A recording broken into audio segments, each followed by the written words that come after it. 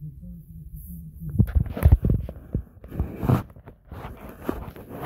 have a question.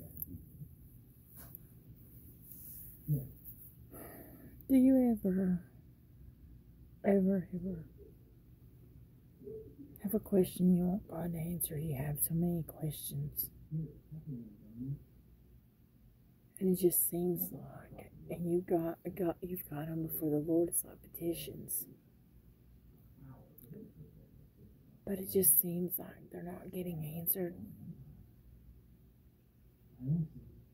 It seems like no many, however many times you pray, it just seems like it don't get answered.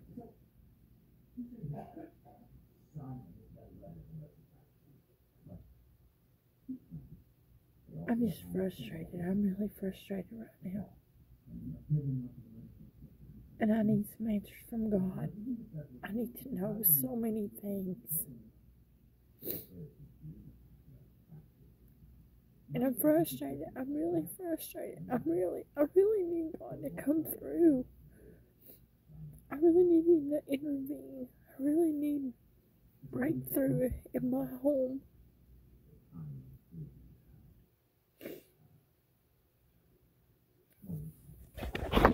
I am so sick.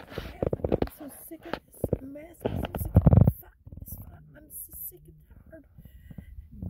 And I know I have to keep on keeping on. But you feel like you just don't want to anymore.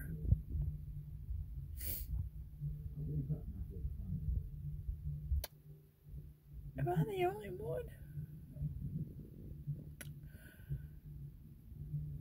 I'm just sick and tired of getting slapped around by Satan.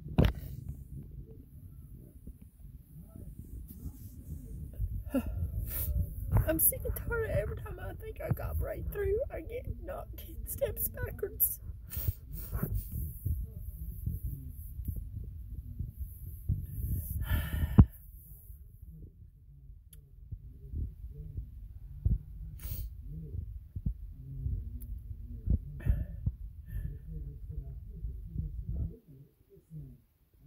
We're living in a, a critical time where the devil is trying every which way in the world he can to destroy God's children.